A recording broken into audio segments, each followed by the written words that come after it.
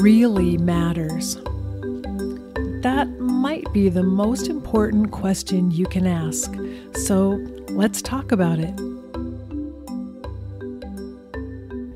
Welcome to What Really Matters podcast, Everyday Spirituality with Karen Wyatt. Thanks for joining me here today. I'm glad we're spending a little bit of time together once again. And today I'm back to my task that I've been pursuing much of this year so far, which is answering questions that people most frequently ask in Google. So these are questions about life and death and things that people are searching for, and Google produced this list of things that I, I went through and found all the questions that I thought were really interesting to try to answer myself and see if I could come up with explanations or some sort of an answer. Not that I'm any kind of expert or authority, more that I'm answering these questions about life based on my own experience, what I've lived and learned through my studies and through my work. So, the question to consider today is what is it like to die? And of course, I'm a retired hospice physician, so this is a subject I know quite a lot about in terms of both studying academically, but also through personal experience. I've sat at the bedside of hundreds of people as they were dying. So, I've witnessed dying many, many times at least dying when it occurs naturally, gradually, and slowly. When someone is dying from old age or from chronic illness and disease, that tends to take life over time. The other type of dying that we're all aware of, of course, is sudden death, which can happen from a heart attack, say, a, a sudden physical event, heart attack or stroke, or could happen from some type of accident or other mishap. And I'll talk a little bit about that at the end, but I've witnessed that happening much less frequently than the slower, more gradual dying process that I have experienced in hospice. So, I'll be talking about the things that it's possible to witness when you're with a person who is dying from the outside, primarily physical changes, but also some of the things that my dying patients have described to me that they're experiencing internally, emotionally, but also spiritually while they're in the process of dying. So, as I mentioned, when someone is dying from chronic illness, organ failure, uh, a disease like cancer, something that causes a gradual death over time, there are very significant signs that we can witness that tell us that dying is happening. It's a slow process, and gradually, each organ system in the body begins to shut down very slowly, begins to fail in how it's operating. So, the signs of the dying process beginning can be evident as much as two to four months before a person actually dies. So, as I was describing, it can be a slow and gradual process. And at that earlier point in the dying process, there are some changes that happen. Oftentimes, it's a decrease in interest in eating. And patients may just say they're not hungry or they have lost interest in food.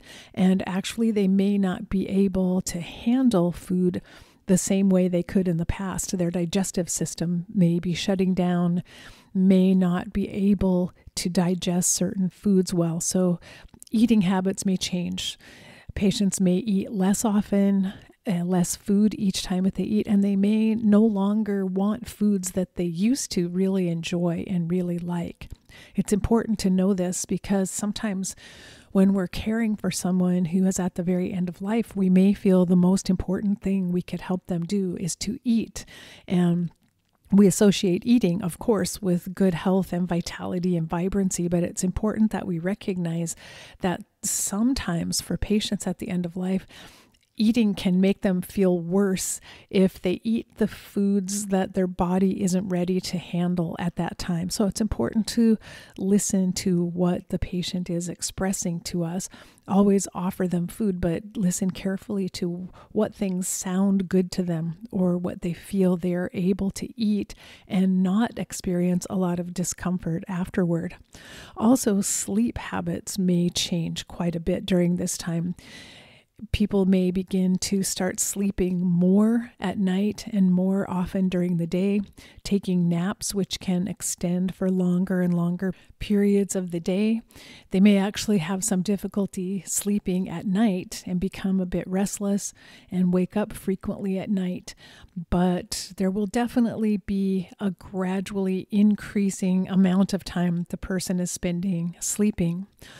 Also, during this period, there will be a decrease in interest in social interactions.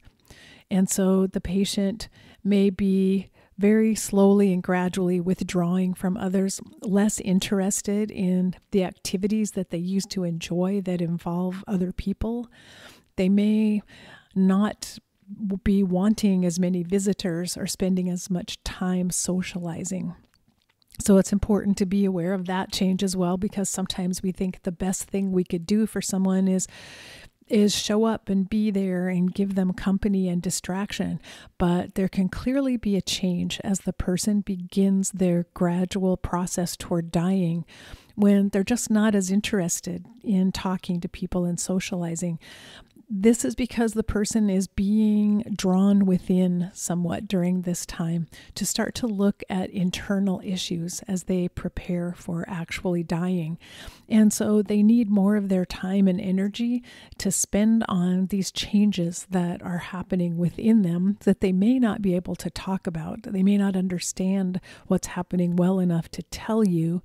It's just that you might observe that suddenly family game night or watching television together is of less interest to the patient. And that's a normal change that happens, so not something to be worried about.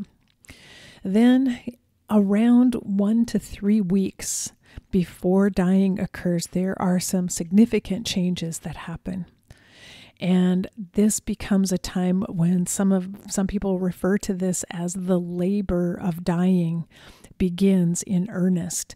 And so there's a great time of preparation for actual death to occur. During this time, the patient will be sleeping most of the time. So their periods of being awake will be much more limited, and most of the time they'll be sleeping. And during that time, a lot of inner work is happening from what patients tell us. There, things are being processed, memories are be- being reviewed. Sometimes they're working on forgiveness and tying up loose ends and they're they're getting insights into themselves and who they are as people. And so we may see physical changes like irregular breathing while the person is sleeping. Breathing may stop and there might be pauses, you know, for a few seconds to several seconds at a time and uh, their breathing just may not sound normal to us, but that is a normal process. Again, much less interest in food. Some patients may completely stop eating during this time and may only desire sweet foods or ice cream or something that to us doesn't sound healthy. But again, it's important to honor the wishes of that person because they're listening to their own body and what their body needs at that time. When we examine patients during this phase, this labor phase of the dying process, we notice changes in blood pressure and heart rate. Body temperature can fluctuate and go up and down. The skin color begins to change. We can see mottling at times on the legs, which is where um, there's irregular coloration of the legs we see uh, various physical changes happening, and they can seem like they're advancing rather rapidly during this time. And as I said, it could be from one to three weeks before death occurs. So, again, remember that food consumption will be very low during this time, and that's normal and natural. And the labor that's happening from what we understand and know during this time is that the patient is really preparing to leave the physical body behind. Now, I'm speaking from a frame of reference of viewing that there is more to a person than just a physical body. There is a consciousness that resides within the body, but that is preparing itself to separate from the body and leave the body behind. And many patients have talked about that to me. One of my dear friends, Mary Lou, who I saw many, many times as she was approaching dying and all throughout her process of illness, and Mary Lou was very spiritual. She had done so much work on herself in terms of love and forgiveness and making amends and healing all of her relationships. She had a very good attitude about dying. She was prepared. She knew that it would happen. She had her family and children with her. And she told me a few days before she died that what she had been experiencing over the last couple of weeks was she described this as a feeling of dissolving away. And she said this with the most radiant, luminous smile on her face and just pure, pure light coming from her. And she whispered it to me and she said, My physical body is dissolving away. That's how it feels. So, this is what I understand as part of that separation process, consciousness is leaving behind the physical body a little bit at a time over this one to three weeks.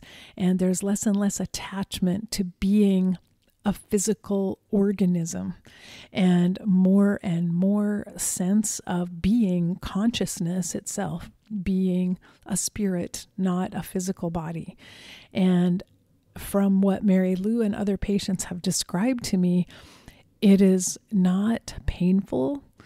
It's not necessarily frightening if you have some of understanding of what's happening. I have had some patients who have been afraid during this stage of life, partly because they weren't prepared to die at all. They hadn't thought about it, they hadn't done any kind of reading or spiritual and emotional preparation for this event happening.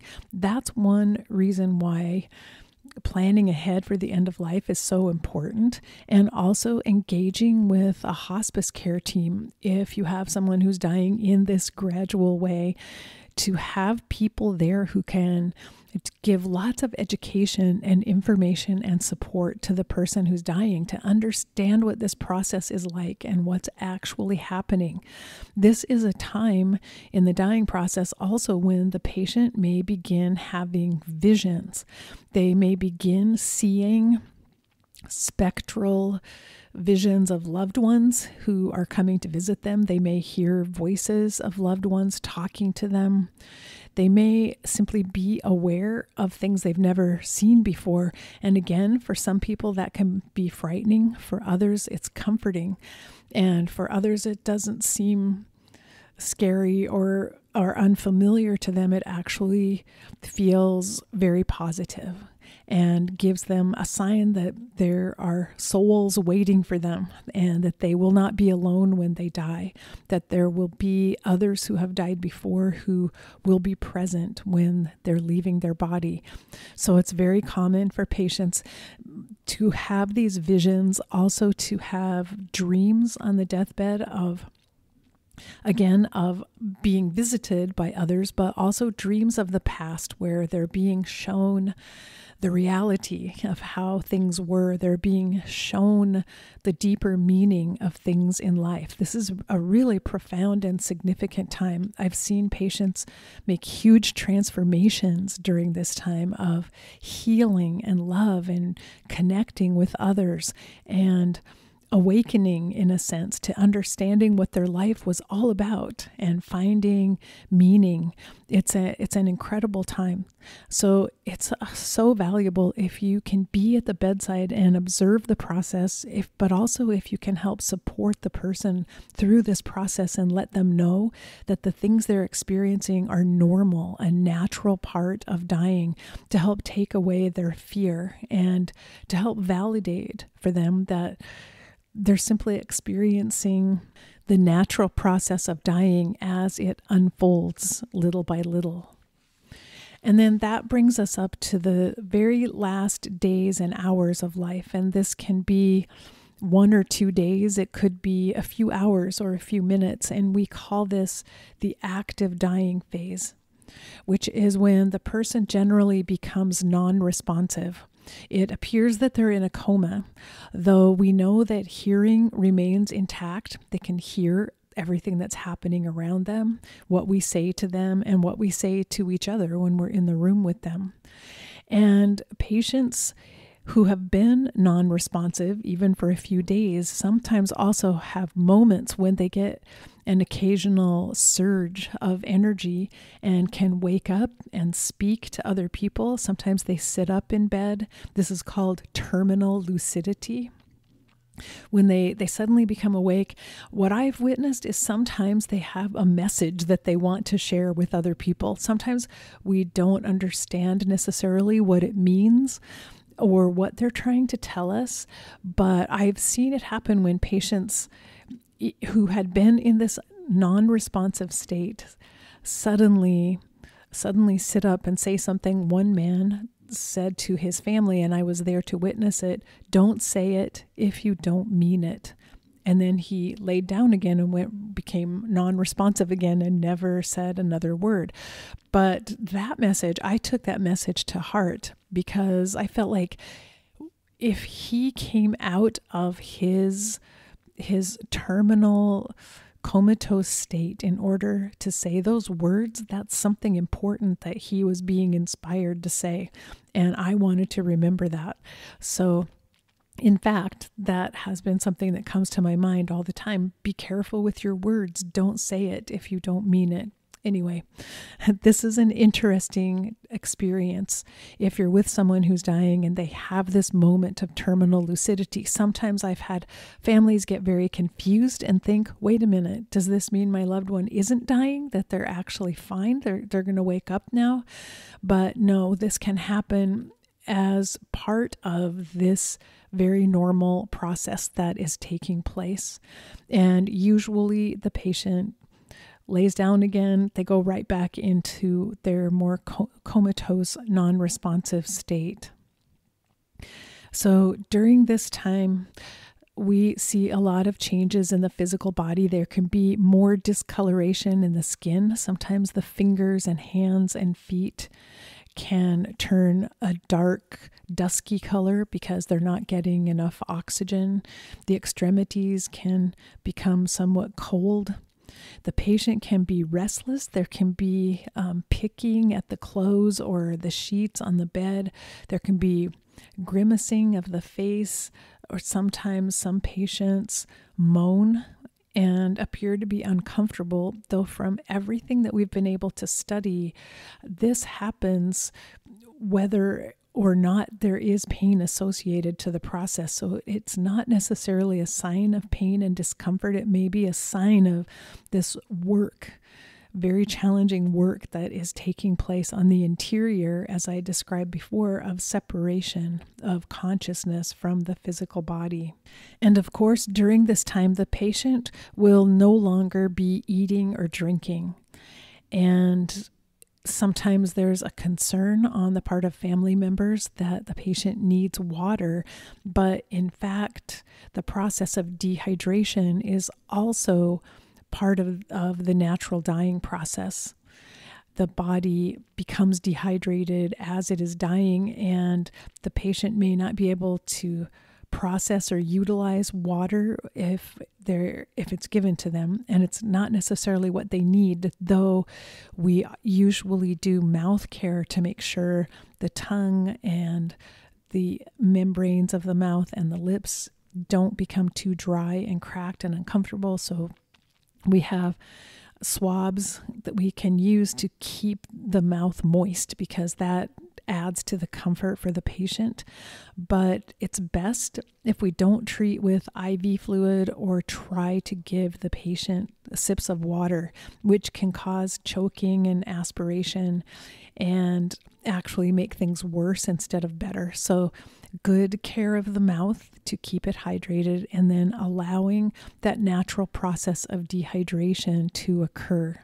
I mentioned before that patients, these last few days of life, uh, they're non responsive. They are often not verbal, but occasionally they will they will sometimes mumble or say things during this time.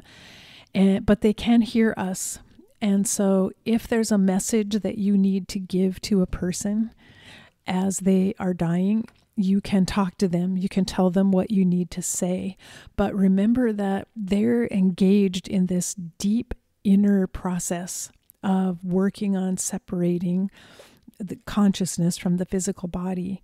And so it may not be a time when they're necessarily needing us to say anything to them, although it's perfectly fine to tell them what you need to say, to say, I love you, I forgive you, I'm here for you, whatever you might need to say. But recognize that they're withdrawn from you, so you may not see any sign whatsoever that they've heard you or that it made any difference to them. And mostly, we believe patients don't really need a lot from us at that time in terms of communication. But they will be aware of our presence. They will hear our voice. That will most likely bring support to them during this these last few days of life, but don't feel pressured to provide ongoing commentary or even to read to this person because it's possible that they really want to be focusing only on on what's happening within and a lot of stimulation from outside of them may slow down their process of doing the inner work that they're trying to work on. It may be distracting in a sense. So it depends on your relationship with the person and perhaps what you need to do in order to feel comfortable at the time if you're with someone who's dying. So as far as for the patient who is dying, this is a process that happens and the patient doesn't necessarily speed it up or slow it down. It happens in its own time frame.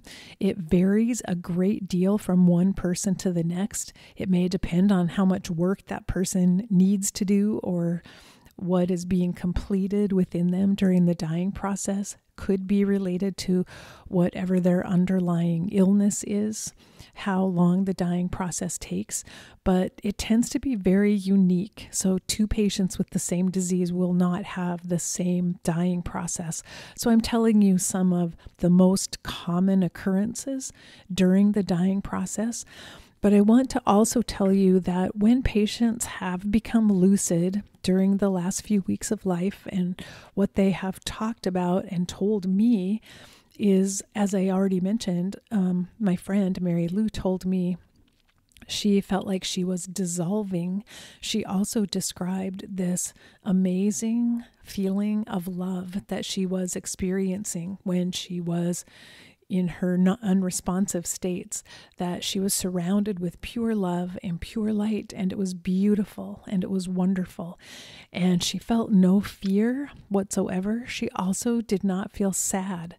She felt that this was the right thing. It's what should be happening. It's what she was ready for. It it was perfect for how her life had unfolded in spite of the fact that she was leaving behind her husband and two children and so many patients have communicated that to me as well that they felt at peace, they felt pure love, they they were surrounded by beautiful light and that experiencing this process felt right to them no matter how they got there, no matter what the disease process was that brought them to that point. It felt like it was the perfect resolution somehow to the lives they had lived. So, hearing these stories over and over again from my patients who were able to describe what was happening and to be lucid enough for moments here and there to talk about it has helped me tremendously throughout my life to have less fear of dying and actually to kind of really let go of being afraid of dying. I mean, it's going to happen no matter what. And I don't want to spend my time worrying about it or feeling frightened or anxious about what might happen at that time, but to understand that it appears to be a peaceful, loving process, particularly if you allow it to happen and don't resist it. The patients who seem to be fighting and pushing against death are the patients I have seen who have a more difficult time, experience more pain, more distress during their dying process. So, just something to remember and to think about.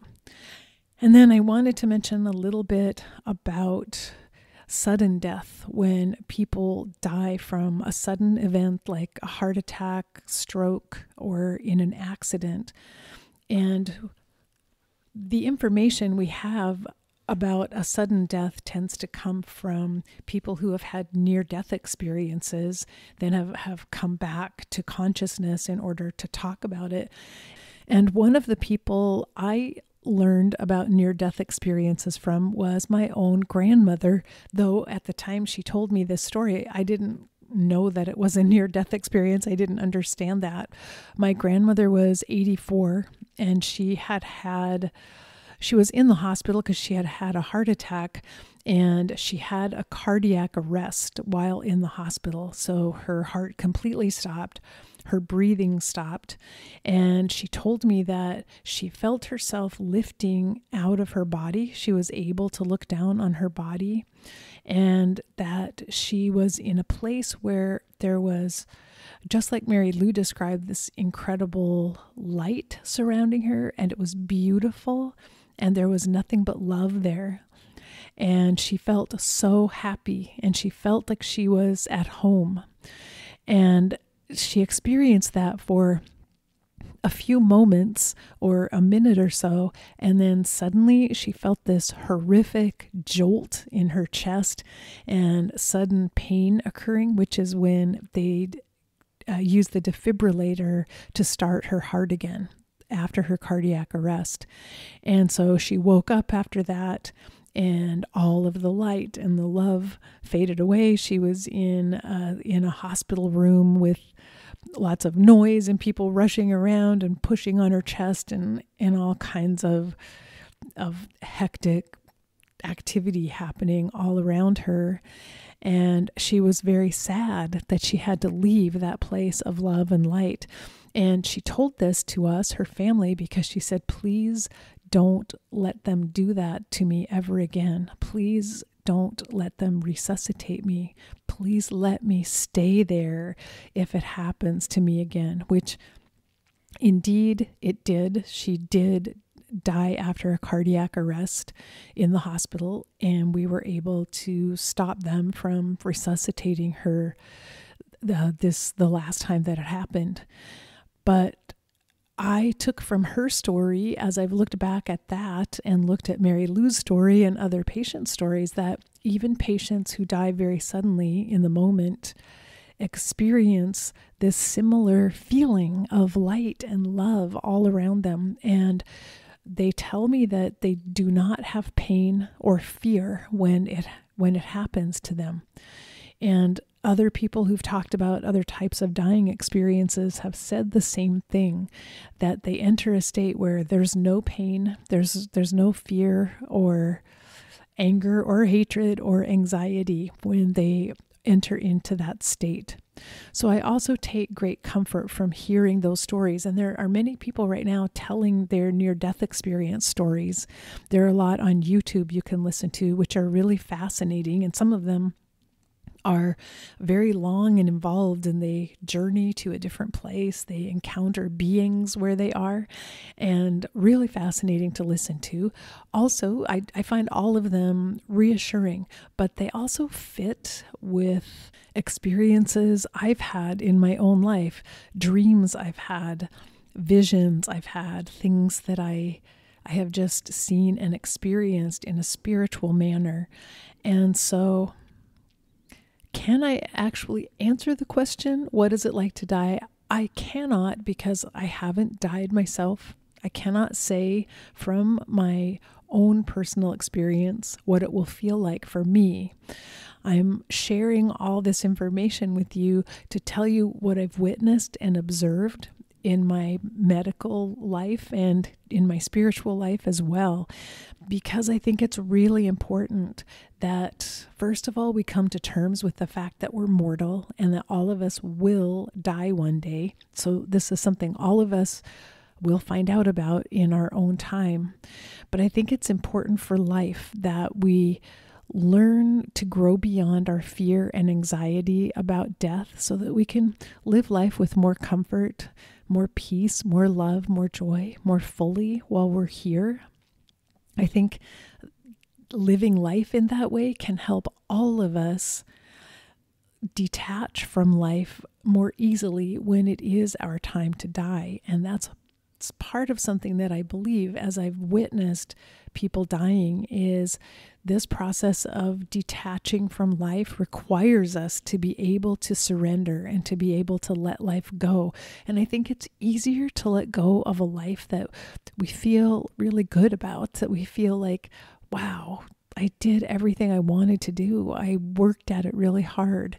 And of course we may be very sad that we're we're leaving life behind, but if we have a sense that I, I was awake. I paid attention. I was aware of what was happening around me, and I did the best I could with this life. I think it may be easier to surrender and easier to let go. And that labor process of separating consciousness from the body may happen a little more quickly with more ease. So, as I said before, it's the people who have not prepared, who have not thought about it, who actually have shoved death out of their mind and never wanted to discuss it, never wanted to acknowledge that they are mortal. Those are the people who I've seen have a greater struggle when they are in their last hours and days of life. And I have seen some people who linger for weeks partly because I think it's so very hard for them to let go and to leave the physical life behind. So I want to talk about it and encourage you to think about it, read about it, study about it so that you will feel, will feel less afraid when it is your time to face the very end. And so until next week, I'll come back with another topic next week, I promise. And until then, remember that we're here for love. So the the fail-safe approach is always focus on love and try to find as much love as you can in life and bring as much love to life as you can. Face your fear, especially your fear of death. Be ready for whatever life brings to you because it's full of surprises and love each and every moment of your precious life.